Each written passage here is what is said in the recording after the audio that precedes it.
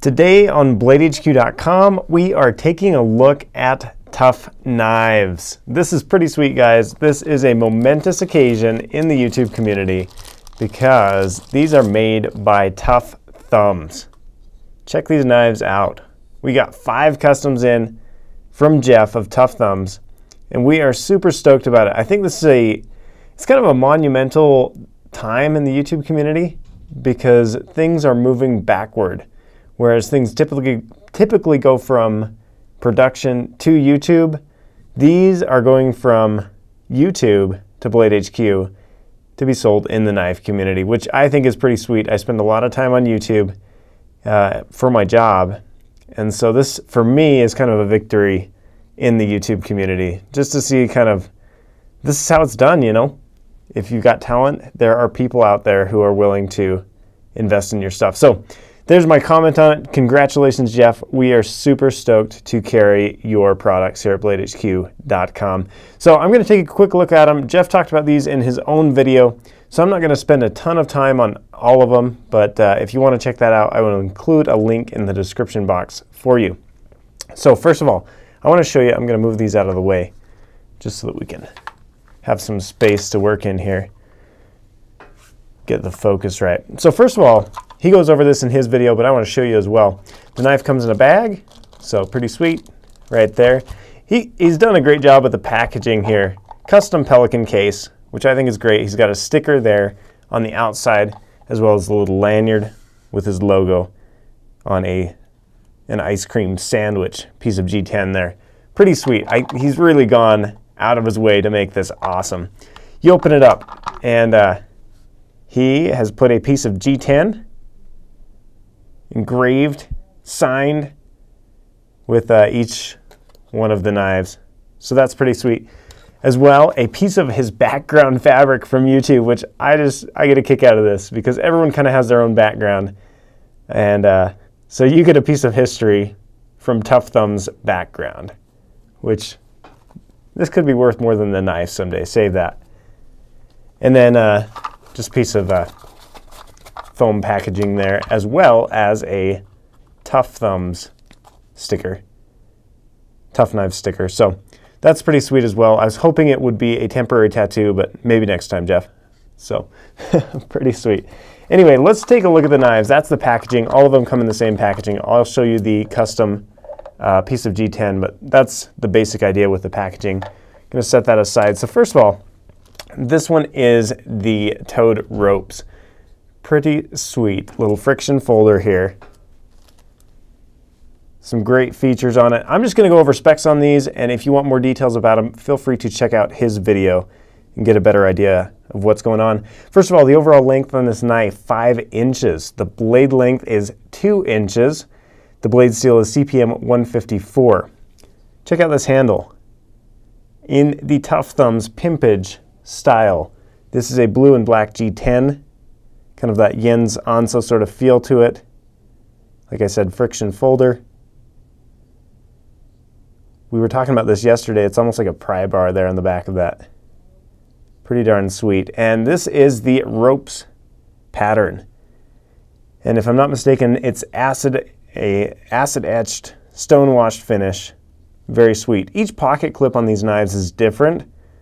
So that one is its own style, its own design. Show you the backspacer there. Very, very cool. Friction folder on this one. This is the Toad ropes. And the weight on it, 4.2 ounces. Gonna keep moving. The next one we've got here is the CC Toad. There's the piece of G10. gonna keep moving so this video moves fast. But I gotta change my props here, change my props. CC Toad. This one also comes in the all the same features, comes in a little bag. The overall length on this one, check it out, five inches, another friction folder. Five inches, blade length, two inches. The handle material is titanium as well as Coyote Brown G10. Very pretty. I love what TuffThumbz does. He does these all by hand. You guys know that. I'm not going to go into all the details of what he does on his knives, but these are sweet. Sweet, sweet stuff. Um, I'm trying to look and see if there's anything else on this one. Weight, four ounces on this.